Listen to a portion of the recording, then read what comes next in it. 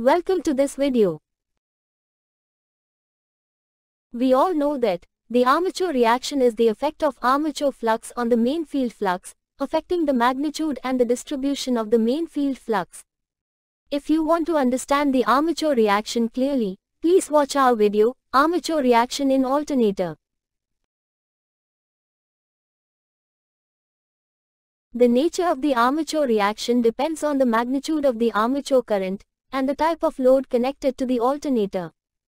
If the load connected to the alternator is resistive, the armature reaction will not change the magnitude of the main field flux. But it will change the flux pattern. How is it happen? This video will help you to explain how the resistive load changes the flux pattern of the main field flux Interpret the phasor diagram that represents the relationship between field and armature quantities. Consider an electric heater. It is purely a resistive load which will offer a unity power factor to the alternator. Let's draw the phasor diagram of a two-pole alternator by connecting this pure resistive load. First, let us excite the field windings of the alternator with 12 volts or 24 volts battery supply. It creates the main field flux, phi f in the alternator. Even though the excitation supply is DC, this field flux will have an alternating nature with respect to the armature conductor. It is because of the relative motion between the main field winding and armature conductors. Hence, we can represent the main field flux, phi f, as phi fm sine omega t. We will take phi f as a reference vector. Here, the length of this line represents the magnitude of the main field flux, and the arrowhead represents the direction. Since the rotor is rotating, induced EMF, APH, will get induced in the armature conductor. We know that induced EMF, APH, is minus d phi f divided by dt. By substituting the value of phi f in this equation, we will get minus omega, phi fm, cos omega t. Substitute the value of omega t as 0 in both of these equations. Now, at omega t is equal to 0, the value of the main field flux is 0, and the induced EMF is maximum with negative polarity. If you substitute the omega t value as 90, the value of the main field flux is maximum with positive polarity, and the induced EMF is 0. Let us plot these values in the xy plane.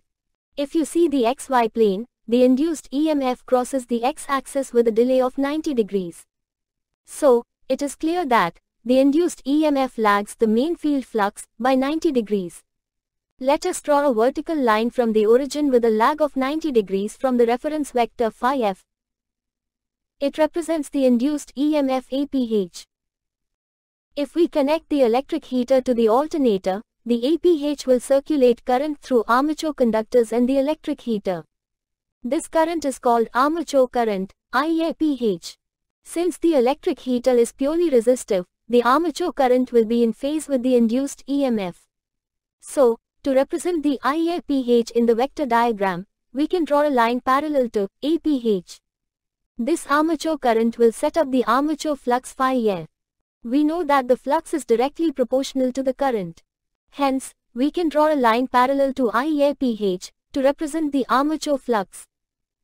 From the phasor diagram, it is evident that there is a phase difference of 90 degrees between the main field flux and the armature flux. Also, the armature flux lags the main field flux. Let us plot these fluxes in the xy plane. The main field flux will cross the x-axis at 0, 180, and 360 degrees. The armature flux will cross the x-axis at 90 degree and 270 degree. These are the two poles of the alternator. See the left half of the poles, both armature and field fluxes are in the same direction. But on the right half, they are opposite. Hence, the average flux in the air gap of the alternator will remain the same, but its distribution gets distorted. This distorting effect of armature reaction under unity power factor load is called the cross-magnetizing effect of armature reaction. We hope that you have understood the effect of armature reaction in an alternator, when it operates under unity power factor load. We have come to the end of this video. In this video, we learned that the induced EMF will lag the main field flux by 90 degrees.